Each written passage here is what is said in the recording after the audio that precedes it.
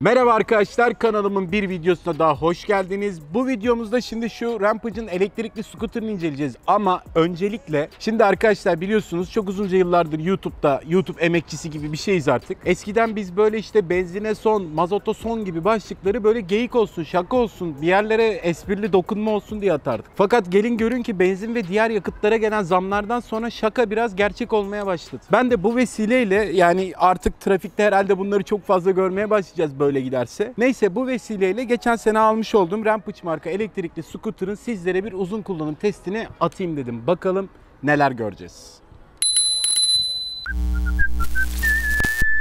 Bu arada ürünün satın alma bağlantısı ve hakkında daha fazla detaylı bilgi istiyorsanız da açıklama kısmına link bıraktım. Şimdi hemen şunu söyleyeyim. Bu bir uzun kullanım videosu. Yani uzun kullanım videosunda ne olur arkadaşlar? Teknik özellikler o bu şu yerine daha çok deneyime odaklanılır. Ben de sizlere bu scooter'da deneyimden bahsedeceğim. Bence bir uzun kullanım videosunda mesele bir scooter'sa ilk konu batarya meselesi olmalı. Şimdi bunun motoru 250 watt arkadaşlar ve firmanın vermiş olduğu verilere göre 25 kilometrelik mesafeyi tek şarjla gidiyor. Yine bu da sürüş anlamında 1-2 saatlik bir süreye tekabül ediyor. Firmanın verdiği yazılı verilerde. Peki ben kullanırken böyle mi oldu? Valla arkadaşlar ben de şaşırdım. Yani neredeyse kağıtta yazan verilere yakın veriler yakaladık. Şöyle söyleyeyim size her gün ofisle iş arasında yaklaşık 4 kilometre git gel 8 kilometre mesafeyi bu scooter 3 günde bir böyle 2,5 günde bir şarjlı kurtardı. Burada hesaplamanız gereken benim için acı fakat sizler için gerçek olan bir şey var. Bu scooter beni taşıyordu arkadaşlar. Doğal olarak o 25 kilometreyi de şarj tüketimi de benim kalibremde bir insan için düşünmenizi öneririm. Çok mu kiloluyum lan ben?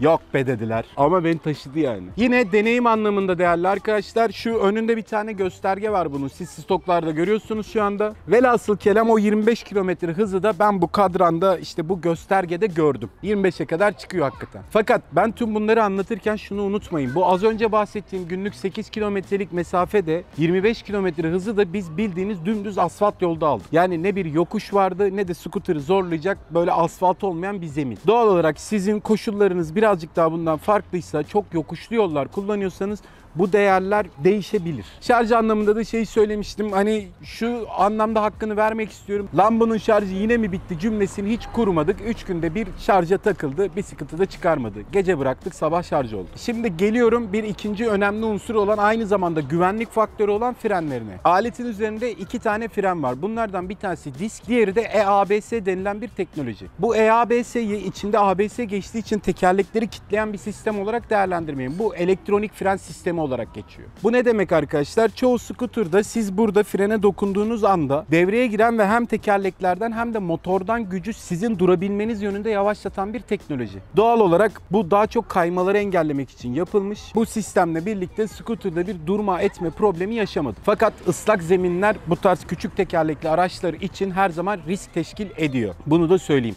ıslak zeminde kayıyor yani. Bu EABS dediğim şeyle ilgili bir şey daha belirteceğim. Arkadaşlar önemli bir unsur disklerin ömrü bu sayede uzun oluyor. Çünkü scooter'ın durması için disklere o kadar da abanmanıza gerek kalmıyor. Tabi panik manik durumlarında abanıyorsun da hani yine de o sistem disklerin ömrünü uzatan bir teknoloji. Artık geliyoruz kullanım deneyimi kısmına. Hepimiz bu scooter meselesine aşinayız. Özellikle bu scooter kiralama uygulamalarıyla neredeyse pek çok insan scooter deneyimini yaşadı. Çok pahalı ama yaşadık yani. Fakat konfor ve sürüş keyfi ve güvenlik anlamında eğer daha öncesinde bu dediğim benzeri yöntemlerle kiralık bir scooter sürdüyseniz onun konforunu rahatça 10 ile çarpabilirsiniz. Fakat yine de en üst düzey scooter da olsa tırtıklı zeminlere geldiğinizde alet titriyor. Firma tarafı ön kısmına bir adet şok emici koymuş fakat yine de titriyor. O da bu skutura özel değil. Bunun haricinde değerli arkadaşlar kullanırken rahatlık, konfor, işte skutura sığma anlamında bir sıkıntı yaşamadım ben. Aynı zamanda üzerinde 3 farklı sürüş modu yer alan bir adet ekran var. Bu ekran üzerinden de şarj durumunu, mevcut hızınızı,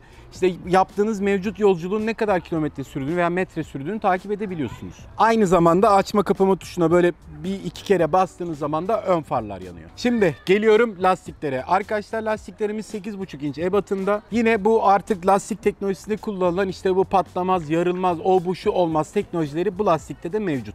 Yani olmaz değil de dayanıklı diyeyim. Geliyorum artık taşıma kolaylığına. Scooter'ın ağırlığı yaklaşık 13-15 kilogram. İşin açıkçası çok hafif değil. Fakat üzerinde yer alan mandal sayesinde onu öne alarak scooter'ın böyle ön direksiyonu katladığınız zaman taşıma anlamında bir kolaylık sağlıyor. Ha taşıyacağınız mesafe uzunsa yorucu oluyor. Hani kış olsa kurtarır ama yaz ayında zaten hava sıcak ne bileyim böyle bir köprünün merdiveninden çıkarken çok sizi zorlamaz ya da metroya binerken çok sizi zorlamaz. Ama hayalinizde de hafif bir ürün tezahür etmeyin. Tezahür etmeyin ne demek lan?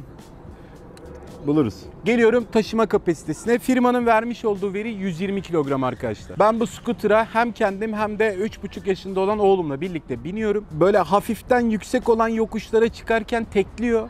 Ama normal düz kullanımda ağırlık kapasitesiyle ilgili de bir problemle karşılaşmadım. Ben de zaten 120'yi geçmiyorum. O kadar değil yani. Ha şeyi merak edebilirsiniz. Çağdaş sen binerken hafif yokuşlarda veya daha ciddi yokuşlarda tekleme oluyor muydu diye. Arkadaşlar ben binerken de dik yokuşlarda yavaşlıyordu. Fakat deviri alıp girersem atlatabiliyordum. Hafif yokuşlarda ise herhangi bir problemle karşılaşmadım. Videonun sonuna doğru giderken değerli arkadaşlar bu tarz ürünlerin fiyatı çok arttı. Hatta biz bile kameraman arkadaşım da dahil olmak üzere lan bunlar 1500 lira değil miydi dedik. Fiyatları çok artmış fakat ulaşımın pahalanması işte yakıt masrafları gibi durumlarda hesaba katılacak olursa sadece ekonomi yapmak için bile bence kısa orta mesafeli iş yeri olan insanların yolları da güvenliyse bence rahatlıkla tercih edebileceği bir ulaşım aracıdır kendisi. Yani böyle bir ihtiyacınız varsa gönül rahatlığıyla tercih edebilirsiniz. Onun dışında hobi amaçlı istiyorsanız yine gönül rahatlığıyla tercih edebilirsiniz. Zaten sizinki hobi olduğu için bir şey olmaz ona. O uzun kullanım gibi olmaz yani. Adam her gün işe gidecek veya kadın. O daha hardturt bir kullanım yani.